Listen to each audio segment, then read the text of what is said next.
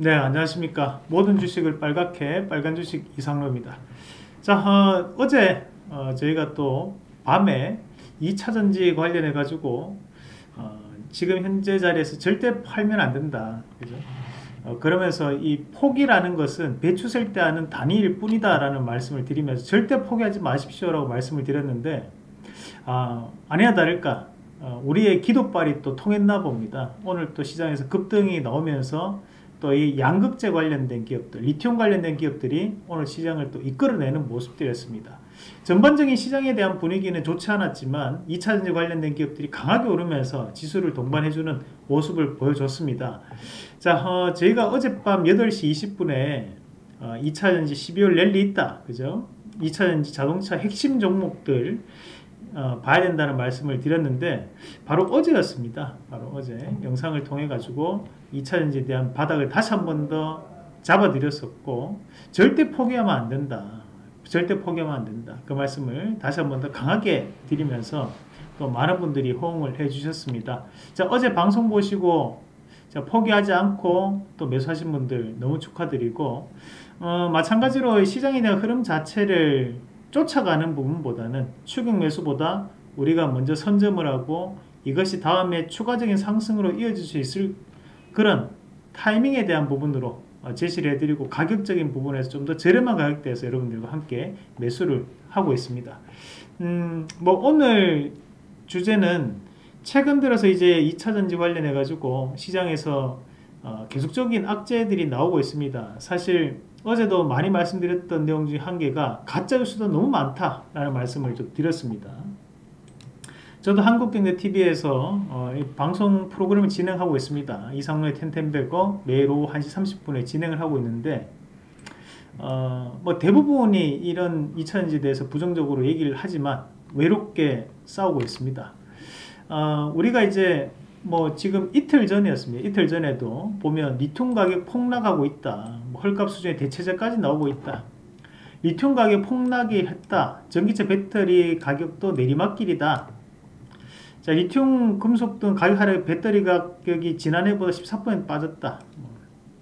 뭐 온통 안 좋은 얘기입니다. 근데 심지어 이런 뉴스들이 불과 이틀 전입니다. 자 이런 뉴스를 보면 우리 개인 투자 마음은 어떻습니까? 아 2차전지 마탱이 갔다 이제 사면 안 된다 이제 무조건 빠지겠다 지금에 팔고 넣을까 아이고 참 괜히 내가 어? 이상호 말 믿었다가 들고 있네 내가 괜히 이상호 말 들었다가 매수했구나 자 그런 후회들 하고 계신 것 알고 있습니다 대신 오늘 또 이렇게 이런 뉴스가 나오고 난 다음에 또 어때요? 이런 뉴스를 보고 포기하고 나가버리니까 곧장 또 급등 나옵니다. 자, 이런 뉴스를 뭐라고 했습니까? 다들 가짜 뉴스다. 가짜 뉴스입니다. 이런 거 볼 필요 없습니다. 자, 어차피 이 애들이 내한테 돈 벌어주는 거 아닙니다. 그죠? 이런 애들이 쓰는 뉴스들 다 이거는 쓰레기입니다. 이런 뉴스 보지 마십시오. 이거는 여러분들한테 아무런 도움도 안 되고 이런 뉴스는 괜히 나의 생각만 어지럽히는 나쁜 뉴스들입니다. 이런 거 보지 마세요. 자, 리튬 가격 빠진 거 나도 알고 있고, 그죠? 여러분들도 알고 있었고, 현재 리튬 가격 계속적으로 빠졌다라는 것은 다르게 얘기해 보면, 앞으로는 리튬 가격이 상승할 수 있다라는 얘기가 되겠죠. 자, 우리가 이 말 그대로 보자고, 그러면. 리튬 가격 폭락했다. 알고 있다는 거예요. 우리 현재 2017년도 테슬라가 우리나라에 출시할 때 그 가격대까지 리튬 가격이 내려왔습니다. 그러면서 당연히 양극재에 대한 가격도 빠질 수밖에 없고 그걸 이제 지난 시간 우리가 함께 공부했던 내용 바로 그거였습니다. 그죠? 뭐냐 탄산 리튬과 양재 가격이 하락을 할 수밖에 없는 것은 리튬 가격이 빠졌기 때문에 빠져서 내려온 거라는 거죠. 결국에는 우리가 현재 매출은 꾸준하게 2차전지 양극재 기업들이 증가하고 있기 때문에 지금 현재 마진이 감소하는 것은 리튬 가격이 빠졌기 때문에 마진이 감소하는 거지 다시 한 번 더 이런 마진에 대한 개선이 이루어질 수 있는 것은 영업이익만 올라가면 된다는 거예요. 그 영업이익 올라가기 위해서는 리튬 가격만 상승한다면 다시 한 번 더 영업이익도 올라갈 수 있다. 지금은 매출이 줄어들면 우리가 다시 한 번 더 고민을 해봐야겠지만 지금 현재 상황에서 매출이 주는 것은 아니라는 거예요. 아니라는 거. 그러면 현재는 나쁘게 볼 필요가 전혀 없다는 거죠. 자, 그런데 지금 현재 시장에서는 헛다리 짚고 있는 것이 자, 저희가 어제 했던 내용이 뭐였어요? 어제 말씀드렸던 내용이 어, 미국에서 금리 동결에 대한 부분이 이루어지면서 거기에 따른 부분에서 소비가 회복되고 있는데 이 소비 회복에 대해서 2차전지 또는 전기차도 상당한 판매가 회복될 수 있다는 말씀을 드렸어요. 우리가 9월달, 10월달 같은 경우에는 미국이 전체적으로 자동차 회사들이 파업을 해버렸습니다. 당연히 실적이 좋게 나오기 힘든 과정들이었고 하지만 지금 같은 경우에 다시 한번 소비가 회복되는 시점이거든. 그런 소비가 회복되면서 앨런 머스크가 이런 얘기를 했어요. 이걸 언론에서는 다루지 않습니다. 앨런 머스크가 어떤 얘기를 했습니까? 자 보십시오. 자 사이버 트럭을 테슬라 3년만에 처음 선보이는 승용차 모델이다. 곧 출시될 것으로 예상되는데 자 여기에서 중요한 얘기는 바로 뒤에 나오는 부분입니다. 자 경제 전반에 대해서 비관적이었다. 왜 비관적이었냐? 나는 우리가 처해 있는 고금리 환경을 걱정하고 있다. 자, 테슬라가 현재 꾸준하게 가격을 다운시키면서 판매 가격대를 다운시켰던 이유도 바로 이것 때문입니다. 우리가 자동차라든지 집같이 큰 돈이 드는 것들은 할부 금융을 많이 이용하게 됩니다. 대부분 다 할부를 해서 매매를 하게 된다는 거예요. 그러면 그런 걸 매매를 하게 되는데 이자가 2%일 때하고 이자가 5%, 7%일 때하고는 당연히 내가 느끼는 부담은 커질 수밖에 없습니다. 그럼 여기에서 금리가 인상된다는 것은 우리가 이런 전기차라든지 2차 전지에 대해서는 상당히 비관적인 부분도 이어질 수 있겠지만 지금 현재 상황은 우리가 금리가 동결될 것이고 내년에는 금리가 인하될 가능성도 있다라고 얘기를 하고 있습니다. 그 말인 즉슨 이런 할부 금융을 이용하기에는 다시 한 번 더 좋은 여건으로 바뀌어 나갈 수 있다라고 지금 시장은 봐야 된다는 거죠. 그러면 현재 상황에서 금리가 최악에 대한 상황, 금리 인상까지 나갈 것이냐? 그건 아니라고 봤을 때 지금보다 나빠질 수 있는 여건은 없다라는 거예요. 최악에 대한 상황에서 이제부터는 기저효과적인 부분으로 넘어갈 수 있는 구간으로 우리가 판단을 해줘야 된다는 거예요. 지금 주가가 그냥 빠졌다고 해서 이게 안 좋다 그게 아니라는 거죠. 자 과거에 이 언론들이 어떤 얘기를 했는지 아십니까? 어, 예전 2020년도 4월 달에 유가가 20달러 밑으로 내려왔습니다.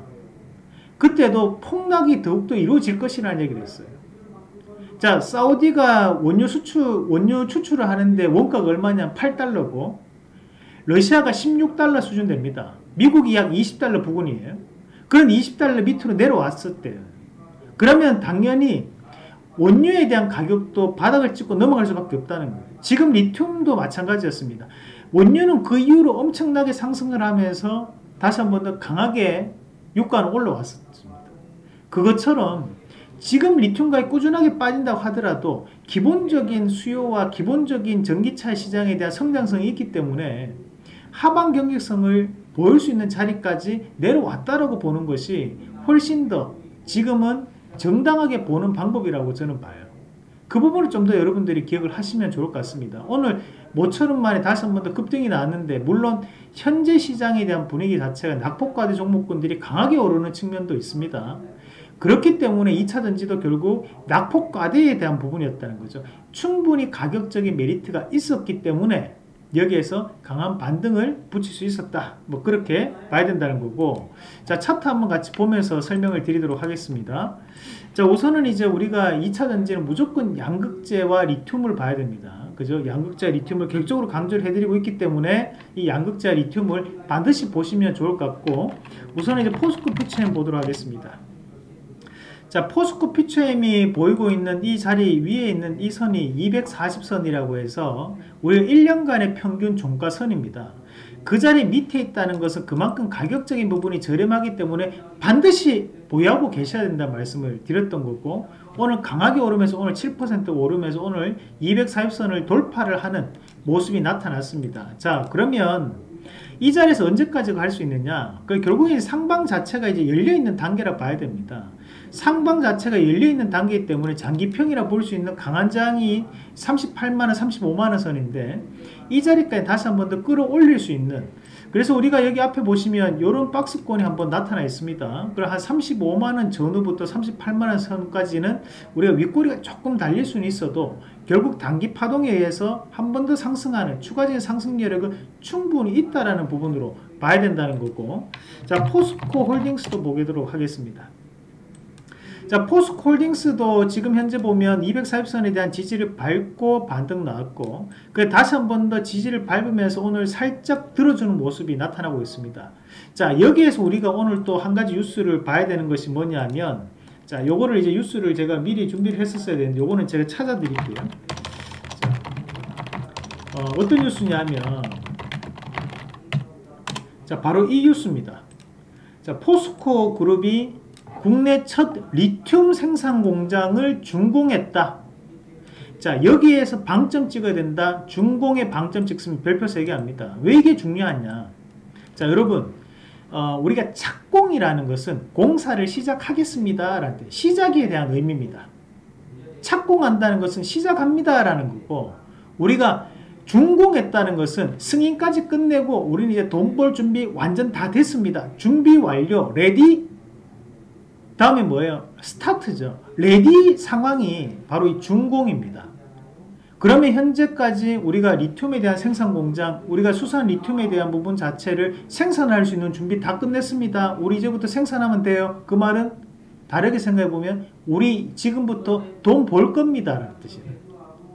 그러면 기대치만 이만큼 높았던 것이 현실적으로 지금 꾸준하게 올라오고 있는 이 기대치와 현실 간의 괴리가 좁아지는 단계이기 때문에 우리가 지금은 포스콜딩스도 주가가 다시 한 번 더 반등이 나올 수 있는 수준까지 올라왔다라고 봐야 됩니다.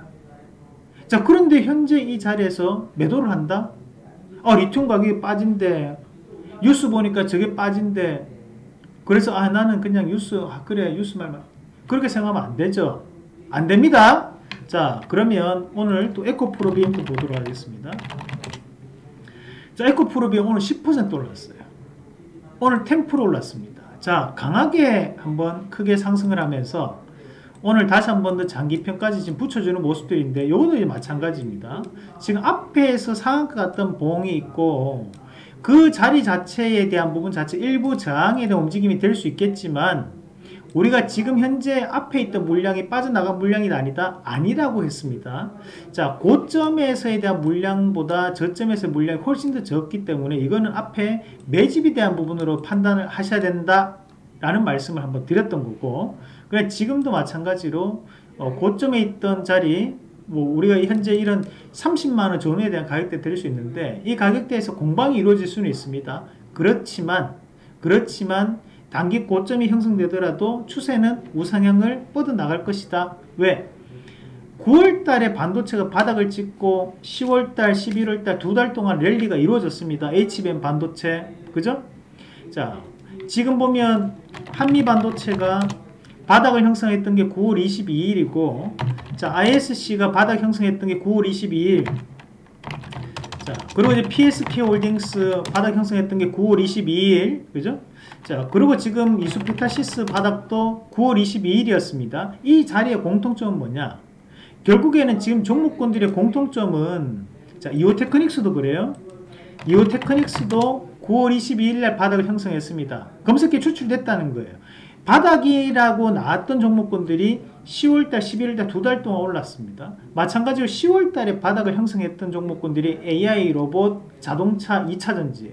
그럼 이 2차전지도 10월 말에 바닥이 형성됐기 때문에 11월, 12월, 12월 달까지도 기대감을 가지고 상승할 수 있다. 앞서서 제가 주식 양도소득세 관련된 얘기 말씀드렸다 그죠? 양도소득 관련해서 어, 거기에 따른 완화도 2차전지 관련된 기업들에게는 상당히 유리한 조건이다.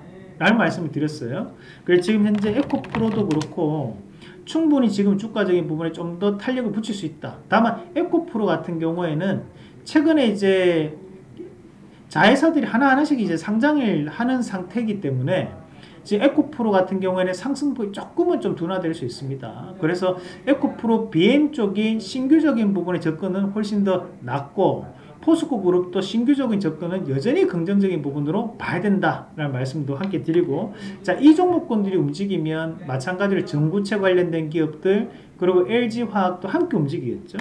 LG화학 같은 경우에도 10월 27일 날 바닥을 형성하고 난 다음에 50만원대를 돌파를 하고 50만원대에 대한 지지 구간을 밟고 있는데 충분히 추가적인 상승 여건이 나올 수 있는 자리입니다. 긍정적으로 봐야 되는 부분이고 자 코스모 신소재 LG화학의 추가적인 납품 건수가 잡힐 수 있다라는 기대감이 있는 종목이고 지금 한번 크게 떨어지고 난 다음에 지금 상방에 대한 부분에 저항이 조금 잡혀 있거든요. 그 이런 자리에 대한 부분까지는 쉽게 한번 올라올 수 있는 타이밍. 자 그리고 오늘 오늘의 히어로그룹은 이제 LNF인데요. LNF가 지금 상황이 상당히 힘든 상황임에도 불구하고 이번에 대구에 2조 5천억 투자 어제 말씀드렸던 내용입니다. 2조 5천억 투자했다는 것은 나는 앞으로는 더 잘 될 수 있어. 그 얘기를 지금 하고 있는 거거든요.